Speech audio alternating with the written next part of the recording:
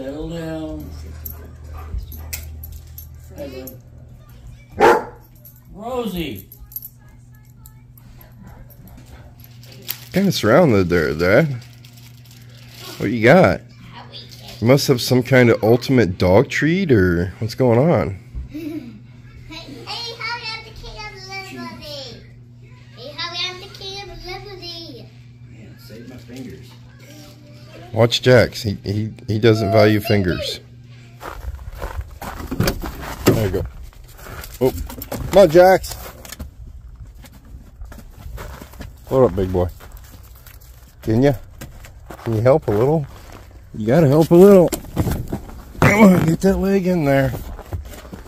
You're not in. You're not feeling it. It's too cold for you, isn't it?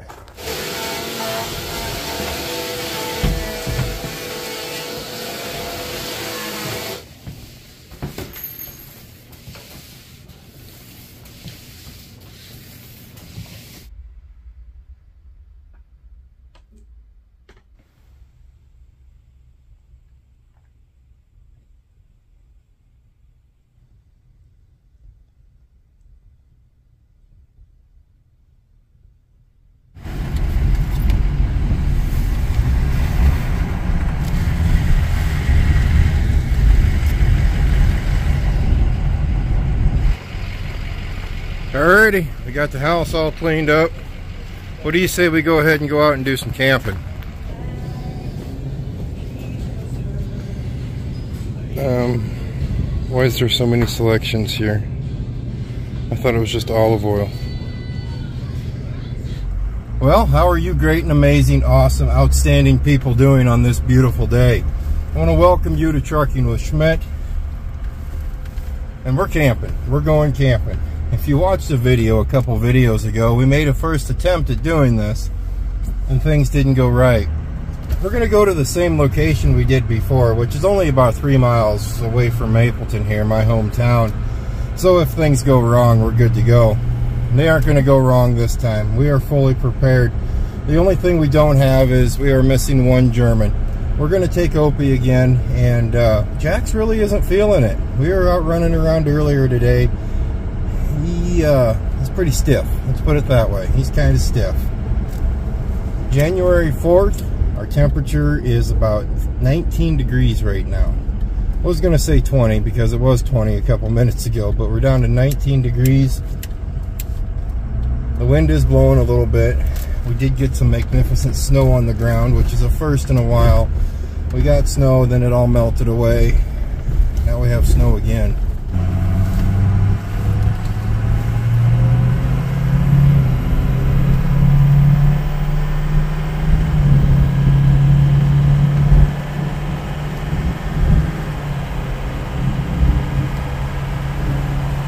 Well, believe it or not, it's only been about two weeks since we jumped out of the truck. And during that two weeks, everybody was home in the wise of Christmas break. Well, everybody went back to school and everybody went back to work today.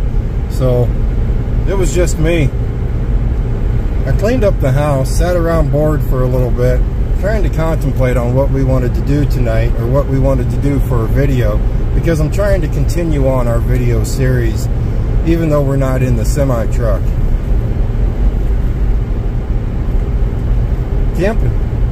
What style of camping? I don't know what style of camping I wanted to do. I actually thought about going over to the truck stop, setting up camp, and sleeping at the truck stop for a night. That would get you guys back into the trucks. There's not a lot of you missing the trucks, but there still is a few of you missing them, which is rightfully understood because the channel is a trucking channel. Sort of. It's a trucking channel when we're in the truck. It's not a trucking channel when we're not in the truck.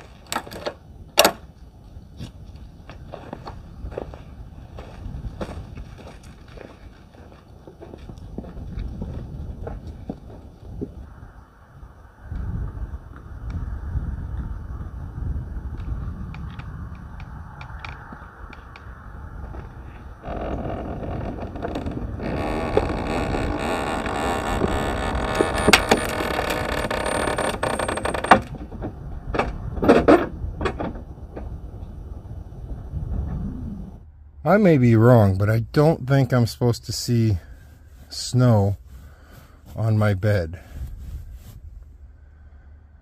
I'm pretty sure I'm not supposed to see snow there.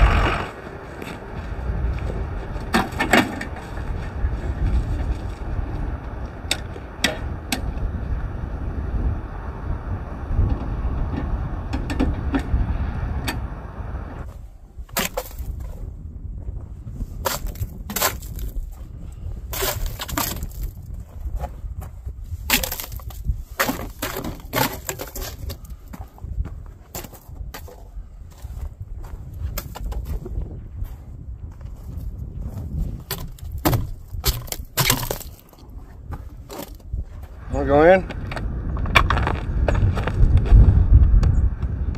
Come here. Come here. Your steps aren't quite high enough, so I need to lift you. Is that okay? Do I have your permission to lift you into the pickup? Yes, I do. Yes. All right, ready? Come here. Oh! All right.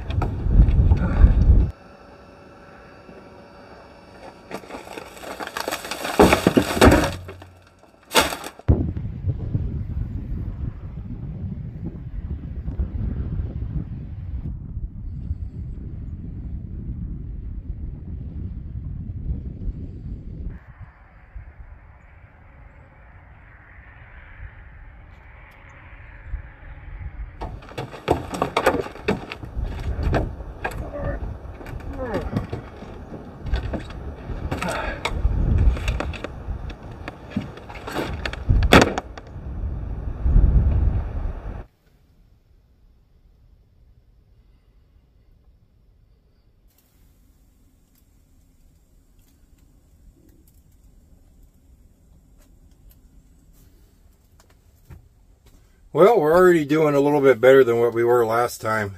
If you didn't notice, I have a buddy heater in here now. But we are camped in a campsite with electricity. So I'm going to uh, plug in an electric heater. This campground we're in right now, it has about six spots in it. Um, there's not a lot of trees. So during the summer, it makes for a brutal campground to go to if you're trying to stay cool. And then there's not a lot of hills around it. So if you're going to camp in it during the winter, there's not a lot of wind blocks. That's what we're going to run into right now. I'm hoping for this wind to go down a little bit later on for we can light a fire. But we have a huge mess right there I need to get taken care of and start putting stuff away. This is only night number two, attempt number two of us actually camping in this camper. And the first time was a no-go because our furnace went out, which by the way, you guys are amazing. There's all kinds of ideas of what that furnace could be. So I'm going to rip into that furnace the first chance I get. And we might even tinker with it tonight or maybe tomorrow while we're out here. I'm going to show you a little bit more around this park while we're here. Maybe tomorrow. Yes, tomorrow because it's getting dark now. Where I showed you there was a little bit of water right behind the camper. That's a lake. Or a pond. That's a pond completely dried up. So the county took advantage of it and started digging things up and making a little bit more fish habitat. And I'll show you that tomorrow for when hopefully we can actually uh, get some moisture. And we are actually getting some moisture now, but get some more moisture this spring and actually fill that pond back up. Because it actually wasn't too bad at fishing. It was only about a foot, maybe two feet deep. But you could bring a kid out here and they'd catch bullhead after bullhead of those right there.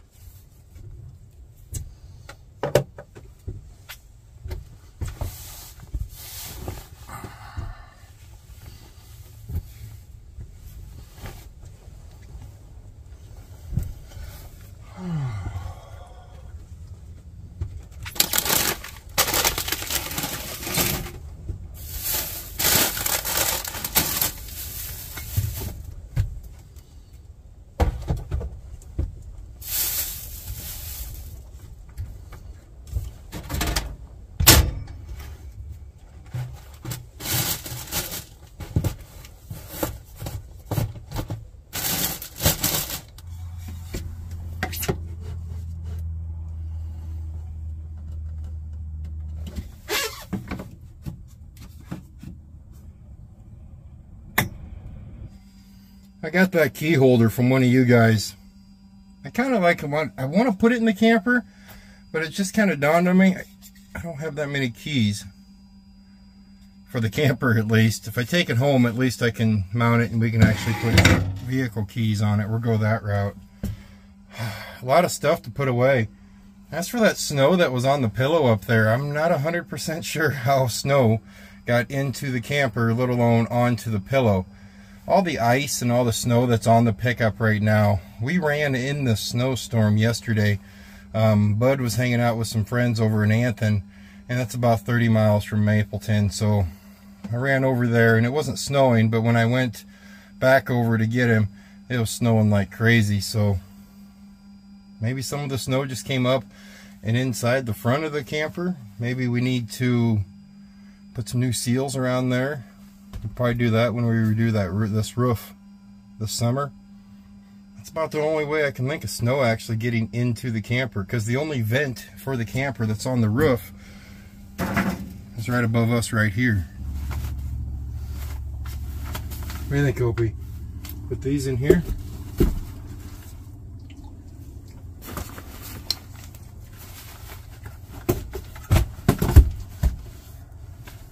That work? That work? Hey, hey, hey, Dad! Yeah, leave me alone, man.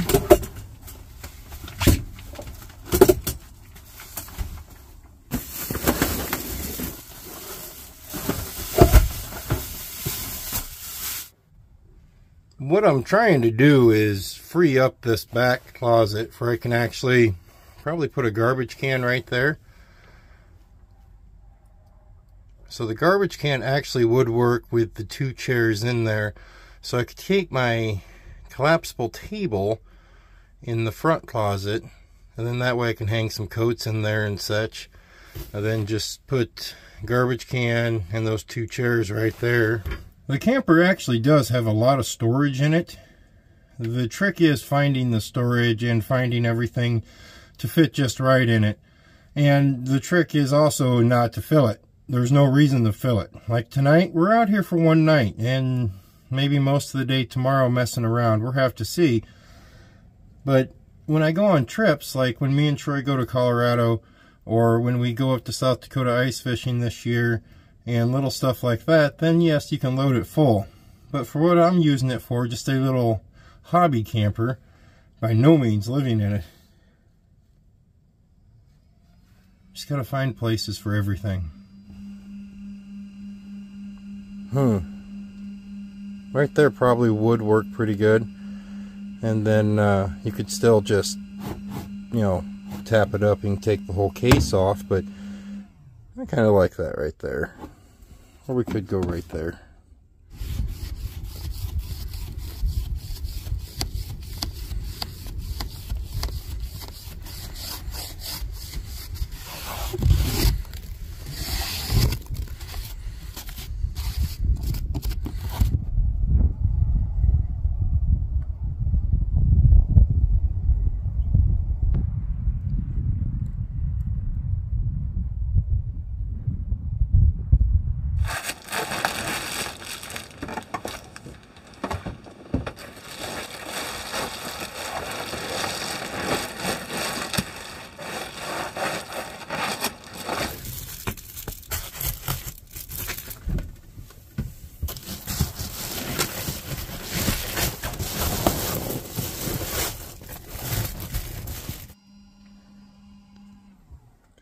for as much as I was trying to avoid the space age look of uh, that stuff, it's kind of cold. And it's not like it's that bad. I tell you what, you can definitely tell a difference when you use it. It's this front. The front of the camper is just brutal. The wind's not hitting it from up there. The wind's hitting us from back there. There's that zipper that runs all the way across. That lets in a lot of cold. Hopefully this will help it warm up a little bit. I don't like the look of this stuff. If you guys have watched previous videos, you guys have seen me cover this stuff up in my old setup in the truck camper. I'm not going to do that to this stuff, but at least we have curtains up here now. That's kind of nice.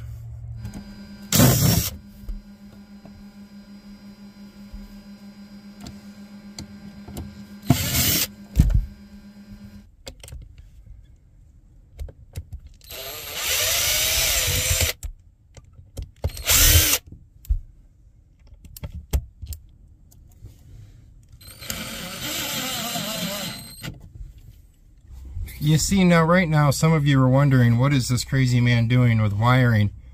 This camper came with an antique or an old converter that quit working within the first, well, we never camped in it. We were just setting things up and the converter fried. And it was fine because that converter was extremely old.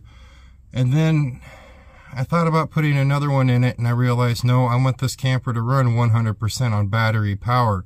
Because we're using this power box right here to power the camper, basically the two lights. And once we get the furnace running, it works great. It really does.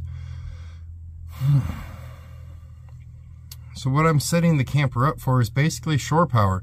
That cord that you see, the extension cord end, that just simply runs outside to the outside plug-in and that comes out the side of the camper. And that's just the way I'm going to set this whole setup in or set it up. That's how I'm going to set it up is you can have shore power coming in.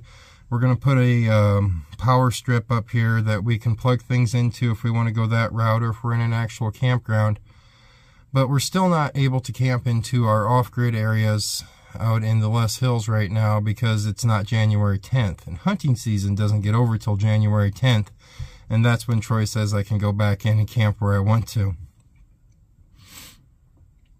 It works out okay. I have a plug-in for the truck. I'm going to have a plug-in for this electric heater. I'm going to see if the electric heater can even keep us warm. Right now we're below 19 degrees. I don't know what we are this is all trial and error. That's it. He's snoring.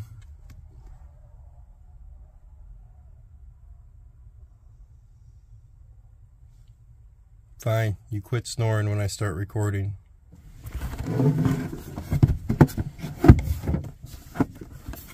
Okay, pretty curtain. Your borderline happened to go, I think.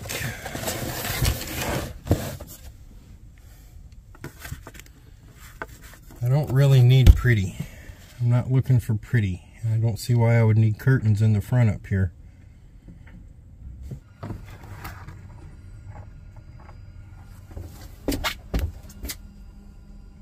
Anybody home? No, go away. It's cold out here. What are you doing? Well, How's it going? It's going okay. I had to put the, uh, You by yourself? uh, Opie. Okay. I had to put the silver stuff up because it was getting kind of chilly in here. Oh, I bet it made make a difference. It did. I was just getting ready to tell him that I didn't show it before I put it in. Yeah, it went from 55 to 70. Oh wow, that's good reflective stuff. Yeah. Yeah, it jumped up. I'm rewiring the camper, so if you don't hear from me by tomorrow at some point, just know that I burnt down. Dad was coming in from the timber. He was out there messing around with uh, a couple of his buddies were out there hunting. Troy, he's still hunting. He just didn't want to go right now. I don't know if he's done. He's only got about six days left of black powder season, but he just didn't want to go, and I'm not making him go by no means. That was Dad. If you're new to the channel, that was Dad. He stopped by. I'm going to go ahead and finish this wiring up. I wasn't kidding though when I told him. We're running just this Mr. Buddy heater, and I've got her knocked down to low now. But since I put that, gosh, I cannot remember. Is it part? I can't remember what you guys call that silver stuff. But ever since I put it up, it jumped from 55 degrees in here to 70 degrees right now. That's pretty impressive. Listen to that wind, Opie.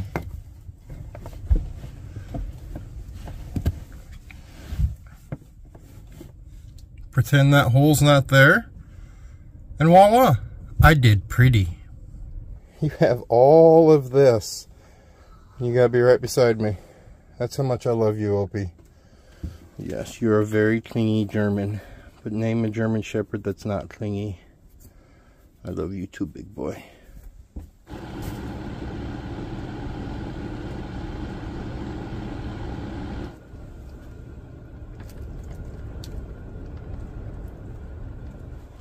Alright, I'm going to shut the buddy heater off and we're just going to go to electric heat there and actually see if it actually pulls enough and actually warms this camper up enough to where we could just use the electric heat. Once we fix the furnace, then we'll use the furnace. But since we're in the electric spot, why pass it up? if it can keep the camper. I don't need it to be 68. If it can keep the camper at 55 or 60 degrees, if it could keep it at 60 degrees, I'm perfectly fine with 60 degrees. 68's kind of warm. Let's see what it can do.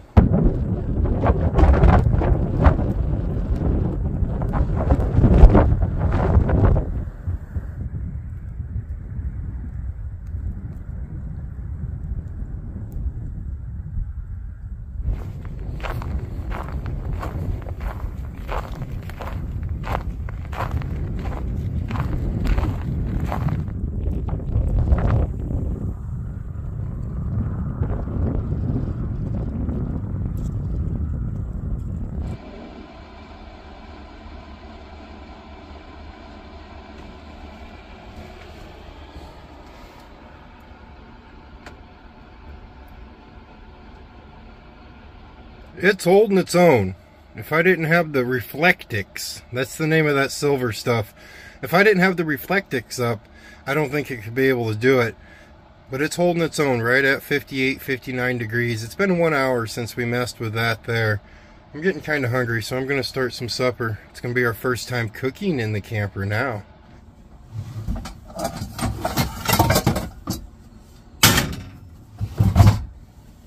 We're actually going to cook in the camper. Me. I'm going to cook. Is anyone scared yet? Don't get too excited. It's in a bag. I can't mess that up.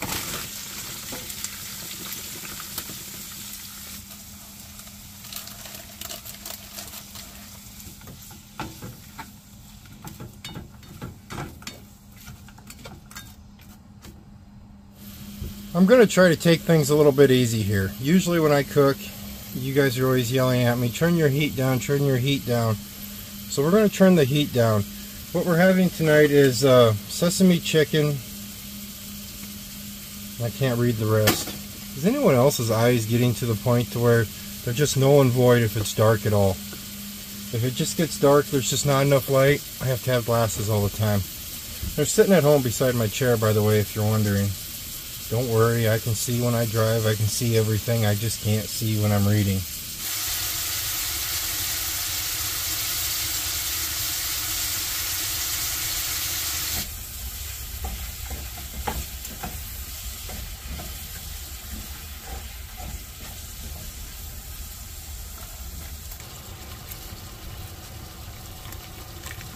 I know, it doesn't look pleasant, but when it's all done, it will look pleasant.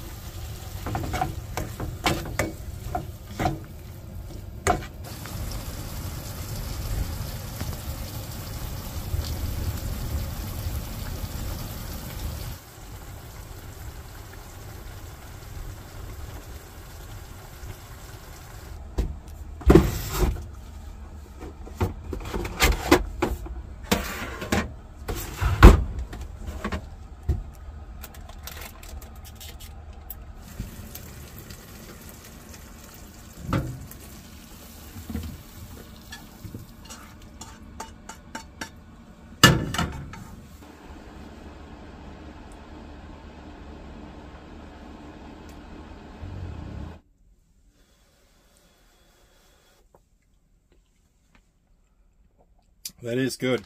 That is very good.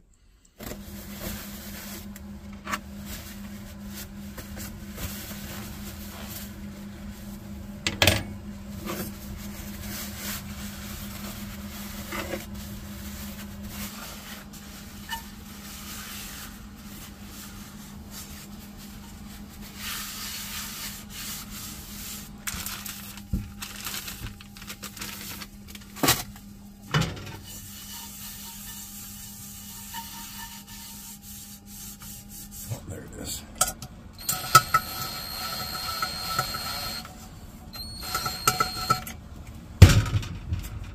Good, isn't it?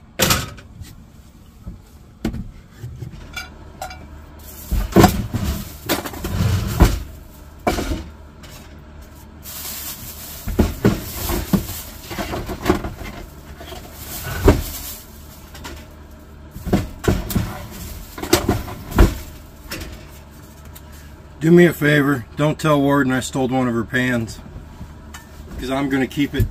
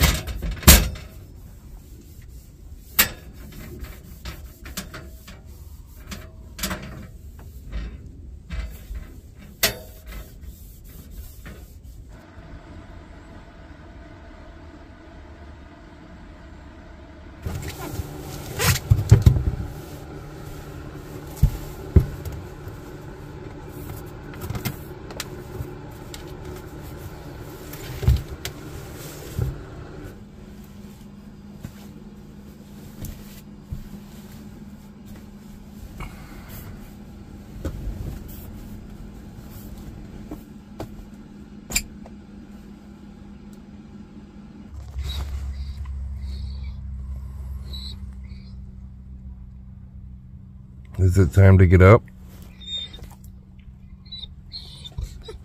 Okay.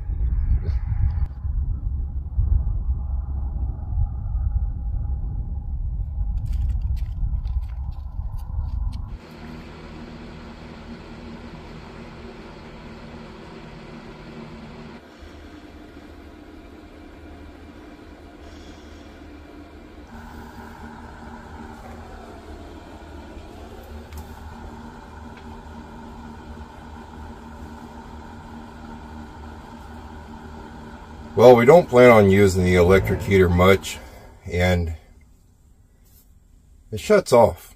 It'll run for a couple minutes, then shut off.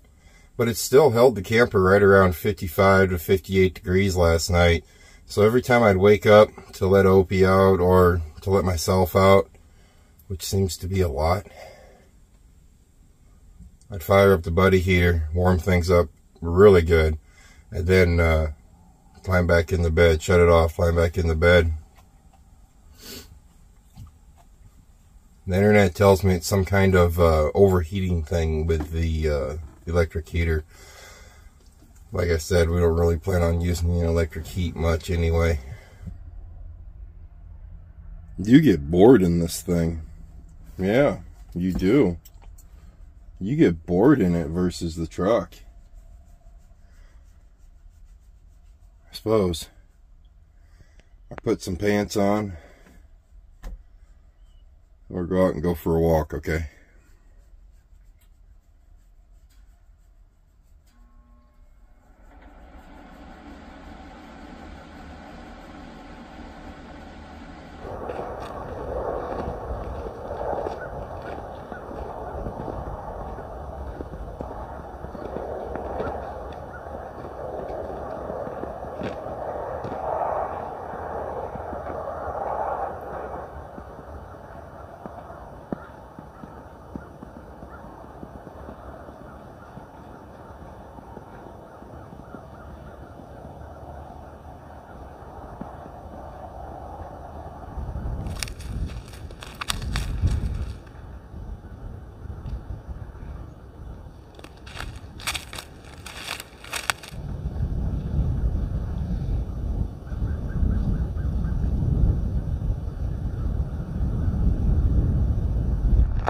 Last night when I was telling you about uh, this all being silted in and only about a foot deep it's because I think it was 2019 when the river flooded and uh, it just filled everything in over here filled the entire river filled the entire pond that sits right here in. River's looking a little low.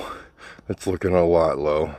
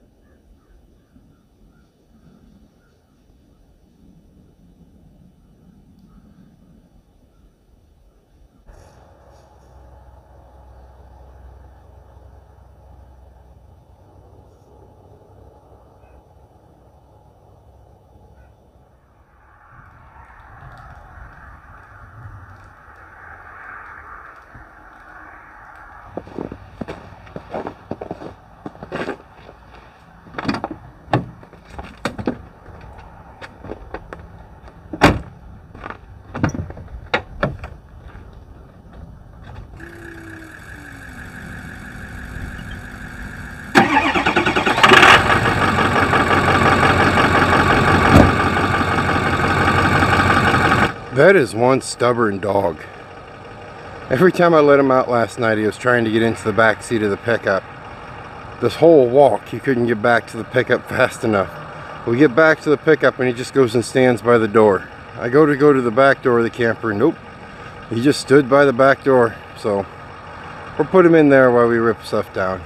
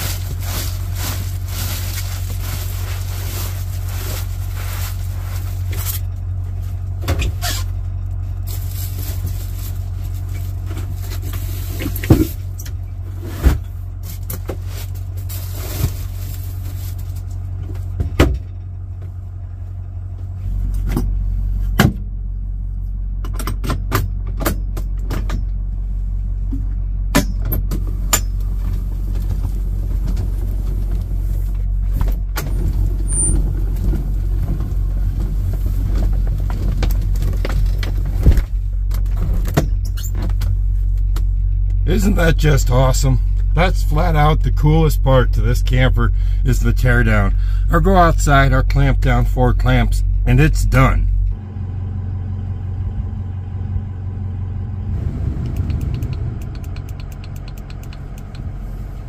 Teardown goes pretty quick in this thing, and that's what I really love about it versus when we're in the big camper.